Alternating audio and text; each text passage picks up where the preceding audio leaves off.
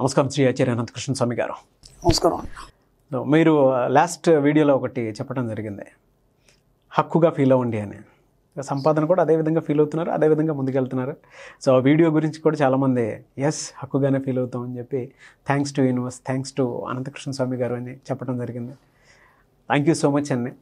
ఇక్కడ విచిత్రం ఏంటంటే డబ్బు విషయానికి వచ్చేసరికి అంటే ఏ విషయాల్లో కూడా మనకి ఎలాంటి ఆలోచనలు ఉండవు. అంటే ఏదైనా మనం నమ్మేస్తాం సామాన్యంగా ఏదైనా అందరితో పాటు నలుగురు ఏం చెప్తే అది సరే అంటాం. అప్పుడు ఒక- ఒక విషయం ఉంది. అది ఎంతవరకు కరెక్ట్ అనేది మనకు అవసరం లేదు. ఎందుకంటే నలుగురు ఓకే అన్నారంటే మనం కూడా ఓకే అన్నారు. ఎట్లా అంటే అది ఎలా ఉంటుందంటే నలుగురు ఏది చెప్తే అదే నిజం అంటాం మనం. దాని విషయంలో మాత్రం ఎలాంటి తరకాలు చేయం మనం ఎక్కడ కూడా పరిశీలించాం పరిశీలించాం దాని గురించి ప్రయత్నం కూడా చేయం కనీసం. కానీ డబ్బు విషయానికి వచ్చేసరికంటే ఇప్పుడు మన సబ్జెక్టే ఉంది. కూర్చుని దగ్గర డబ్బు వస్తుంది అది ఎలా వస్తుంది అని మనం ఇన్ని చెప్తున్నా సరే ఇక్కడ మాత్రం అన్ని అనుమానాలే. అన్ని అనుమానం అంటే ఇక్కడ మన డబ్బు విషయంలో కానీ సంపద విషయంలో కానీ తర్కాలతోని విశ్లేషణతోని మీ సమయాన్ని వృధా చేసుకోకండి. అవును. తర్కాలతో విశ్లేషణతో మీ సమయాన్ని వృధా చేసుకోకండి. అంటే ఇలా అవుతే అలా అవుతుందా అలా అవుతే ఇలా అవుతుందా అది ఎలా వస్తుంది ఎందుకు వస్తుంది ఎవడిస్తాడు విశ్వం ఎందుకు ఇస్తుంది ఇవన్నీ క్వశ్చన్లు అనమాట మనకి. ఇన్ని వీడియోలు వింటున్నా ఇన్ని క్లాసులోకి వస్తున్నా మనం ఇన్ని విశ్లేషణ ఇస్తున్నా మనం ప్రతిదీ కూడా ఎంత మామూలు చెప్తున్నా ఇంతకుముందు కూడా చెప్పాను నేను. ఆ భాష కూడా ఎలా ఉంటుందంటే పామరుడికి పండితుడికి ఇద్దరికి అర్థం కావాలి. ఆ పండిత పరిభాషలోనే చెప్తాం పాములకు అర్థం కాదు. అందుకని మనం వీడియోలు చేస్తున్నాం. లేకపోతే మామూలు క్లాసులు చేసుకుంటూ వెళ్ళిపోవచ్చు. వీడియోలు ఎందుకు చేస్తుంటే ప్రతి వాళ్ళకి అవగాహన కావాలి. ఆ అవగాహన కోసం మనం వీడియోలు చేస్తున్నాం. ఆ వీడియోలలో ప్రతి దగ్గర మనం చక్కని విశ్లేషణ ఇస్తున్నాం. ఎక్కడ కూడా డౌట్ రాకుండా.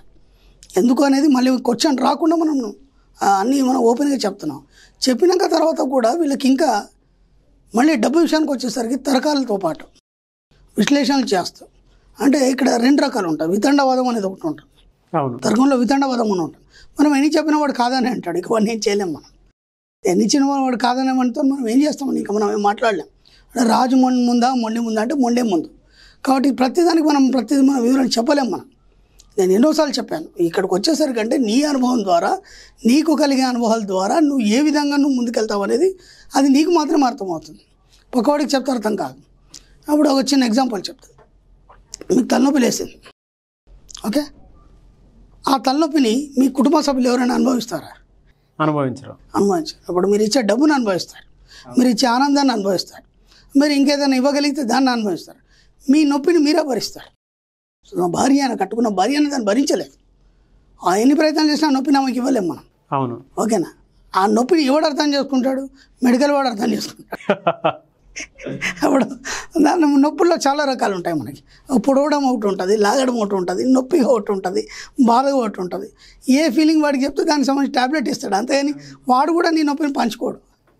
కాబట్టి ఈ ఫీలింగ్ అంతా ఎలా ఉంటుందంటే డబ్బు గురించి కానీ లేకపోతే సబ్ కాన్షియస్ మైండ్ గురించి కానీ ఈ యొక్క మన సబ్జెక్ట్ గురించి కానీ ఇదంతా ఎలా ఉంటుందంటే నీకు నువ్వే అనుభవించాలి. దాన్ని ఎక్కడ చర్చించడం చేత నీకు దాని సమాధానం దొరకదు. విశ్లేషణలో నీకు నీకు నువ్వే తెలుసుకోవాలి తప్ప దానికి కూడా ఎవరు సమాధానం చెప్పడం ఇది ఇలా అవుతుంది. నేను ఎన్నోసార్లు చెప్పాను. ఒక్కొక్కరికి ఒక్కో రకంగా అనుభవం ఉంటుంది. ఇప్పుడు నాకు డబ్బు ఇంకో రకం రావచ్చు అతనికి ఇంకో రకం రావచ్చు. ఇద్దరం అలాగే చేసాం ఇద్దరికి అలాగే రావాలని రూల్ ఏం లేదు. అవును. కాబట్టి ఎక్కడ కూడా ఈ డబ్బు విషయంలో కానీ సంపద విషయంలో కానీ ఐశ్వర్య విషయంలో మీరు తర్కం చేయకండి. ఇది ఇలా అవుతుందా ఎలా వస్తుంది ఎందుకు రాదు వస్తే ఎందుకు వస్తుంది? రాకుంటే ఎందుకు రాదు? ఇలాంటి పిచ్చి ప్రశ్నలు అన్నిటి పక్కన పెట్టండి ఫస్ట్. ఎందుకంటే మీ మైండ్లో ఉన్నటువంటి ఆలోచనలు ఏవైతే నెగిటివ్స్ ఉన్నాయో వాటిని ఫస్ట్ వాషౌట్ చేయండి ఇప్పటివరకు దాని మీద ఎన్నో ప్రయత్నాలు చేశారు. అంటే నేను చెప్పడం కాకుండా నాకన్నా ముందు కూడా ఎవరైనా చెప్పున్నారు మీకు ఎన్నో రకాలుగా చెప్పున్నారు. వాటన్నిటి మనసులో పెట్టుకొని ఇప్పుడు ఏమవుతుందంటే ఏదైనా ఒకటి దాన్ని మీరు ఫాలో కావాలి. అవును. ఇప్పుడు దాన్ని దీన్ని మైండ్లో పెట్టుకున్నారా? అది అద్దంటుంది ఇది కావాలంటుంది. మీ మైండే మీకు గందరగోళంలో పడేస్తుంది. నేను అదే చెప్పాను ఎన్నోసార్లు. గందరగోళంతో కూడుకున్న మనుషుని పక్కకు పెట్టినప్పుడే డబ్బు సంపద రావడం మొదలవుతుంది. అలాగే ఎప్పుడు దేనితో కంపేర్ చేయకండి. మీరు ఒకటి పట్టుకున్నారన్న నా సబ్జెక్ట్ పట్టుకోవాలని లేదు. డబ్బు కానీ సంపద గురించి ఇంకెవరు చెప్పినా సరే. దాంట్లో పూర్తిగా మీరు నిమగ్నం అయిపోండి. దాంట్లో మీరు నిమగ్నం కాకముందే మీరు దాన్ని విమర్శించడాలు చేస్తే దాని లోతుపాతులు మీరు చూడలేరు ఆనందాన్ని మీరు అనుభవించలేరు. అందుకని ఎవరు చెప్పినా సరే నేనే కాదు ఇంకెవరు చెప్పినా సరే అది ఎంతవరకు కరెక్ట్ అనే దాని మీద మీరు సొంతంగా పరిశోధన చేసి దాని లోతుకి వెళ్ళిపోండి వెళ్ళిపోయిన తర్వాత అది నిజమా కాదా అనేది మీకు తెలుస్తుంది. కాదంటే బయటకు వచ్చేయండి. నిజమని తెలిస్తే దాన్నే ఫాలో అయిపోండి. మళ్ళీ నా దగ్గర రాకండి. నా వైపు రాకండి. మళ్ళీ నా వైపు వచ్చేసరికంటే అది రెండు కన్ఫ్యూజ్ అవుతారు. ఇప్పుడు అటు కాకుండా ఇటు కాకుండా పోతారు. అటు కారు ఇటు కారు. రెండిట్లో రెండు కాకుండా పోయి మళ్ళీ ఫెయిల్ అయిపోతారు. కాబట్టి ఏదో ఒక వైపు ఉండండి. ఒక ఒకటి సిద్ధాంతాన్ని మీరు పరిశీలించి మీ యొక్క సొంత తర్కం చేయండి. ఎవరితో వాదనలు పెట్టుకోకండి. మీ యొక్క సొంత విశ్లేషణ చేయండి. చేసిన తర్వాత కూడా ఇప్పుడు అది మీకు కాదు కరెక్ట్ కాదనిపించిన తర్వాత వేరే సిద్ధాంతానికి వెళ్ళండి. అంతేగాని అది కొద్దిగా ఇది కొద్దిగా చేస్తే మీరు ఎటు కాకుండా మీ లైఫ్ అంతా గందరగోళంలో పడి మీరు ముందుకు పోలేక మీరు అనుకున్న సాధించలేక మధ్యలో ఉండిపోతారు. జీవితం మొత్తం అలాగే సాగిపోతుంది. అప్పుడు అది కంప్లీట్ అయిన తర్వాత అప్పుడు ఇంకో దాన్ని మీరు అడుగు పెట్టండి. ఇప్పుడు దీన్ని మళ్ళీ పర్ఫెక్ట్గా మీరు ప్రయత్నం చేస్తుండండి. ఎంత వీలైతే ఎంతవరకు ప్రయత్నం చేస్తారు ఎంతవరకు తర్కం చేస్తారు ఎంతవరకు నిజం అనేది దీన్ని కనుక్కోండి. నిజం అనిపిస్తే దీన్ని ఫాలో కండి. నాది కావచ్చు ఇంకెవరిది కావచ్చు ఇంకెవరిది కావచ్చు ఎవరిదైనా సరే. మీరు కరెక్ట్ అనిపించినప్పుడు దాన్ని ఫాలో కండి. కరెక్ట్ అనిపించిన తర్వాత మళ్ళీ వేరే సిద్ధాంతానికి పోకండి. అలా మీ సమయాన్ని కానీ మీ డబ్బుని కానీ దేనికైనా సరే తర్కాలు విశ్లేషణతో అనవసరంగా టైం వేస్ట్ చేయకండి ఎక్కడ కూడా. అర్థమైంది? అవన్నీ పక్కన పెట్టండి పాత భావాలను పక్కన పెట్టండి ఇవన్నిటిని పక్కన పెట్టండి. మీకు ఇంతవరకు ఏం తెలుసు ఆ సబ్జెక్ట్ని అయితే పక్కన పెట్టండి మళ్ళీ మొదలు పెట్టండి. అయింది అయిపోయింది లైఫ్ ఒక నలభై సంవత్సరాలు పోయిందా? పోయింది. ఏం కాదు. ఇప్పటిదాకా ఏం కుప్పలు మునిగిపోలే. మీరు ఇంకా బతికి ఉన్నారు. నేను ఇంత కూడా చెప్పాను. మీరు బతికున్నారు అక్కడి నుంచి స్టార్ట్ అవుతుంది మళ్ళీ లైఫ్. జీరో అయిపోయింది కదా మీరు అనేది ఒకటి ఉంది కదా. మళ్ళీ అక్కడి నుంచి మళ్ళీ స్టార్ట్ చేసుకుంటూ పోండి. కానీ పది మాటలు నమ్మి అది ఇది అని నమ్మేసి మీరు అనవసరంగా గందరగోళంలో ఇరుక్కుపోయి మీ లైఫ్ని ఎటు కాకుండా చేసుకోకండి. నాది కరెక్ట్ అని నేను ఎప్పుడు చెప్పలేదు. వేరే వాళ్ళది కరెక్ట్ అని కూడా నేను చెప్పలేదు. మీరే తెలుసుకోవాలి. మీరు కరెక్ట్ అనిపిస్తే ఫాలో అవ్వండి లేదంటే వాళ్ళు పెట్టండి ఎక్కడ కూడా మీరు తర్కాల జోలికి పోకండి. విశ్లేషణ గురించి మీరు దాని గురించి టైం వేస్ట్ చేయకండి. నేను చెప్పేది. ఇప్పటికే చాలా టైం వేస్ట్ చేశారు. కరెక్ట్ అనిపిస్తే ఫాలో అవ్వండి లేకపోతే. నిజమే అండి. మనకి ఏదైనా సరే కరెక్ట్ అనిపిస్తేనే కరెక్ట్ అనిపిస్తే ఫాలో కావాలి. అనవసరంగా ఇప్పుడు ఎవరో చెప్పారని చెప్పేసి అనంతకృష్ణ స్వామి బాగా చెప్తున్నాడు క్లాసులు చెప్తున్నాడు బాగా మంది సక్సెస్ అయ్యారు. అప్పటి వరకు ఏదో ఒక సిద్ధాంతంలో ఉన్నాడు ఆయన. దాంట్లో మంచి ఒక స్థాయికి వచ్చాడు ఆయన. ఇప్పుడు అదంతా డిస్టర్బ్ చేసుకొని ఇక్కడ రావడం వల్ల ఏమవుతుందంటే ఇటు కాడు అటు కాడు. ఇప్పుడు ఇప్పటిదాకా ఉన్న లైఫ్ కూడా మళ్ళీ పాడైపోతుంది. అవును. అక్కడ బాగున్నారో? బాగుండండి. అక్కడ బాగాలేనప్పుడు ఇదేమైనా బాగుపడుతుందా అని ఆలోచించండి. ఇది కూడా కొద్దిగా బాగుపడిన ఆలోచనలు ఉంటేనే దాన్ని ఫాలో కండి. లేకపోతే వద్దు. లేకపోతే వద్దు. మళ్ళీ మళ్ళీ ఇక్కడ కూడా ఫెయిల్ అయిపోతే బాగుండదు. కాబట్టి ఏదైనా ఒకటి గట్టిగా నమ్మండి. గట్టిగా నమ్మది కరెక్ట్ అనిపించినప్పుడు దాన్ని ఫాలో కండి. లేదంటే వదిలిపెట్టండి. ఒక విషయంలో మాత్రం మిమ్మల్ని మెచ్చుకోవచ్చారు ఎంత ఓపెన్గా అంటే ప్రస్తుతం జనరేషన్ ఎలా ఉంటుందంటే కమర్షియల్ మార్కెట్ సో మీరు అక్కడ బాగుంటేనే దాంట్లో కంటిన్యూ చేయండి. నేను కమర్షియల్ కాదండి. నేను స్టార్టింగ్ నుంచి చెప్పాను. అన్ని ఓపెన్గా చెప్పాను. నేను నా పరికాలు ఏం లేవు. నా లైఫ్ స్టైల్తో సహా మేము మొత్తం ఓపెన్గా చెప్పాను. ఎంత వీలైతే అంత సబ్జెక్ట్ని ఇవ్వాలి. అందరినీ మోటివేట్ చేయాలి. అందరినీ ఆర్థిక చైతన్యవంతులు చేయాలి. సమాజంలో ఒక గొప్ప ఉన్నతులుగా తీర్చిద్దపడాలి అదే నా కోరిక నా లక్ష్యం అది అంత. అంతకంటే ఇంకా నా కోరిక ఇంకా నాకు ఆశల్లా అని లేకపోతే అవి అవి నాకేం లేవండి. నేను ఎంత వీలైతే సబ్జెక్ట్ ఇవ్వాలని కోరుకుంటాను. అంతే. నా క్లాస్లో కూడా నేను ఎప్పుడు రమ్మని చెప్పలేదు ఎవరికి కూడా. ఓపెన్గా వీడియోలో కూడా ఎప్పుడు రమ్మని చెప్పలేదు నేను. వస్తే వస్తారు. వాళ్ళు టైం వచ్చినప్పుడు వస్తారు. తెలుసుకుంటారు. బాగుపడాలంటే బాగుపడతారు. సబ్జెక్ట్ పట్టుకున్నవాడు బాగుపడతారు అది కూడా చెప్పా. వచ్చినవాడు అందరు సక్సెస్ అనే గ్యారంటీ మనం ఎందుకంటే పట్టుకు సబ్జెక్ట్ పట్టుకున్నాడు సక్సెస్ అవుతాడు. ఇప్పటికి బాగానే సక్సెస్ అయ్యారు. అంటే పట్టుకున్నారు వాళ్ళు. నాదేం లేదు. చెప్పడం మట్టుకే గురువు ఏం చేస్తాడు? క్లాస్లో అందరికి సమానంగానే చెప్తాడు. కొందరే ఫస్ట్ క్లాస్ వస్తారు. కొందరే ఫస్ట్ క్లాస్ రేంజ్లో ఉంటారు.